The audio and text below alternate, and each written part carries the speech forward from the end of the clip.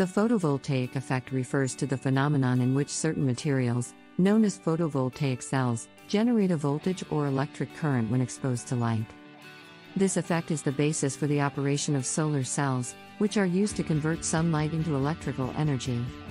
The photovoltaic effect was first observed by French physicist Alexander Edmond Becquerel in 1839, but it was not understood until the development of quantum mechanics in the early 20th century.